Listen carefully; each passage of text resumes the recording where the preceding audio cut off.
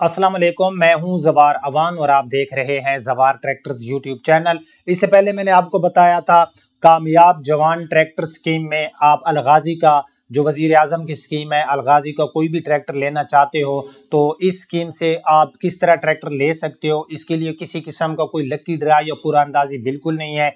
कोई भी बंदा इसमें जो है वो अप्लाई कर सकता है और इंतहाई कम मार्कअप पे ये ट्रैक्टर आप लोग हासिल कर सकते हो।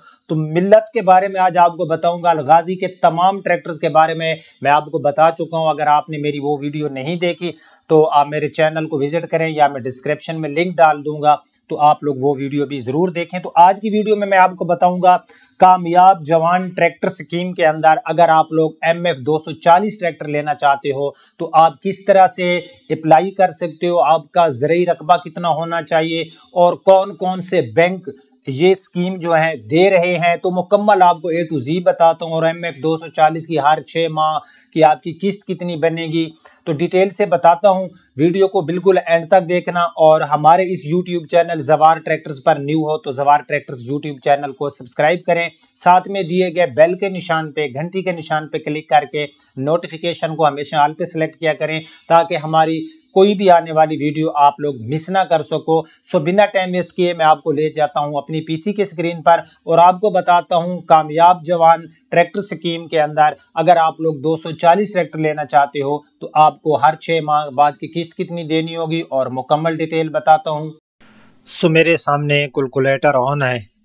ये जे बैंक का या जिस भी बैंक से आप लोग आपको क्योंकि ये गवर्नमेंट की तरफ़ से सेवन परसेंट मार्कअप पर मिल रहा है ना तो आप बैंक इस्लामी से लो आ, किसी भी बैंक से लो ना तो आपको जो है मुकम्मल यही आपकी किस्त बनेगी जो यहाँ पर आपको नज़र आएगी। मैं ये पहले आपको बता दूँ कि अगर आप लोग एम एफ़ दो सौ चालीस अपना जे एस बैंक से लोगे तो कितने का आपको पड़ेगा? उसके बाद लास्ट में आपको बताऊँगा कि किस बैंक से आप ले सकते हो और आप किस तरह से एलिजिबल होंगे, किस तरह से मतलब आप जो है तमाम जितने भी उनकी चीज़ें हैं उनको फॉलो करोगे तो आप एलिजिबल होंगे। इक्कीस लाख नबे हज़ार रुपये एम एफ़ दो सौ चालीस की नकद प्राइस है। Seven percent markup per year आपसे लिया जा रहा है। लोन हम ले रहे हैं पाँच साल के लिए और हम हर छः माह बाद किस्त दे रहे हैं। पेमेंट पर ईयर टू बनेगी नंबर ऑफ़ पेमेंट दस बनेगी टोटल इंटरेस्ट पेड बैंक आपसे प्रॉफिट लेगा इक्कीस लाख नबे हज़ार के ऊपर सेवन परसेंट के हिसाब से चार लाख तैंतालीस हज़ार दो सौ छियासी रुपये ट्रैक्टर आपको पड़ेगा छब्बीस लाख तैंतीस हज़ार दो सौ छियासी रुपये का ठीक है? मतलब इक्कीस लाख नबे हज़ार वाला ट्रैक्टर आपको आ, अच्छा यहाँ पर एक चीज़ और भी मैं आपको बताऊँगा। अगर आप डाउन पेमेंट देना चाहते हो तो वो सारा बताता हूँ। पहले मैं आपको ये बताऊँगा आप कितने परसेंट डाउन पेमेंट दे सकते हो। तो इक्कीस लाख नबे हज़ार वाला ट्रैक्टर आपको छब्बीस लाख तैंतीस हज़ार दो सौ छियासी रुपए का मतलब चार लाख तैंतालीस हज़ार दो सौ छियासी रुपए महँगा पड़ेगा। याद रहे कि इसमें रजिस्ट्रेशन के चार्जेस आपके होंगे।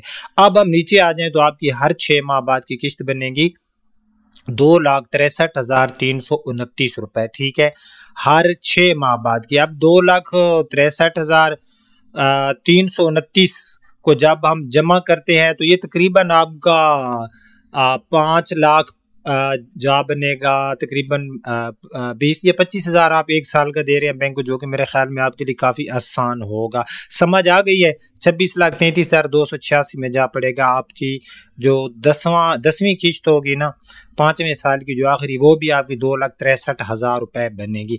अब यहाँ पर आप लोगों का सवाल होता है, फॉर एग्ज़ाम्पल, एक ट्रैक्टर की कीमत है पच्चीस लाख, ठीक है? पच्चीस लाख एक ट्रैक्टर की कीमत है। आप कहते हैं कि भैया, हम तो पाँच लाख रुपए ना बैंक को देते हैं, बाकी बीस लाख का हम लोन करते हैं। तो हम बीस लाख यहाँ पर टाइप कर लेते हैं।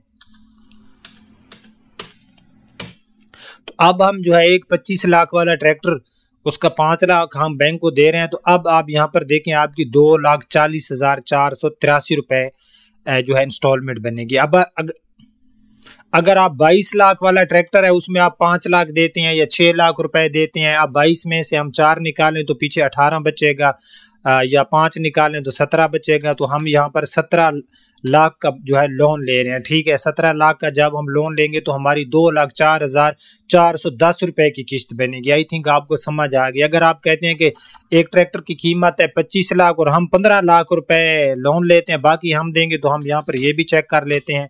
कि पंद्रह लाख के लोन के ऊपर आपकी कितनी किस्त बनेगी तो आपकी एक लाख अस्सी हज़ार रुपये किस्त आ जाएगी। मतलब जितना आप डाउन पेमेंट बढ़ाते जाएँगे, आपकी जो हर छः माह की किस्त है, वो आपकी कम होती जाएगी। तो अब यहाँ पर मैं आपको ये बताता जाऊँ कि आप किस बैंक से ले सकते हो? जी हाँ आपका क्वेश्चन होता है, आप बैंक ऑफ़ पंजाब से ले सकते हो, आप बैंक ऑफ़ इस्लामिक इस्लामिक से ले सकते हो, आप जेएस बैंक से ले सकते हो आई थिंक आप एमसीबी या अलफला से भी ले सकते हो।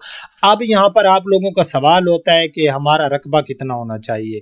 देखें अगर आप एक पंद्रह लाख का ट्रैक्टर ले रहे हो तो आपके रकबा कम अज़ कम जो है वो नहरी होना चाहिए और उसकी जो वैल्यू है वो देखेंगे। आप पाँच लाख से लेकर पचास लाख प्लस का लोन ले सकते हो मतलब इसमें आप अलगाजी के तमाम ट्रैक्टर ले सकते हो मिलत के तमाम ट्रैक्टर ले सकते हो और बुल पावर के ले सकते हो बिलारस ले सकते हो। जितनी भी पाकिस्तान के अंदर कंपनीज़ हैं, उन सब के आप ट्रैक्टर ले सकते हो।